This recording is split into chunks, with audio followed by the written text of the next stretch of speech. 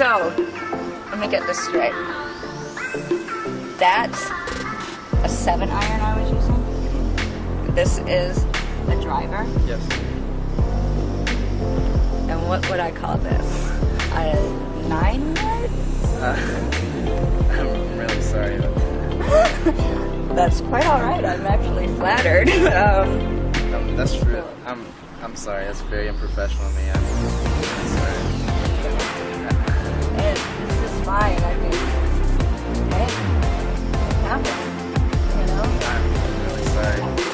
hot actually.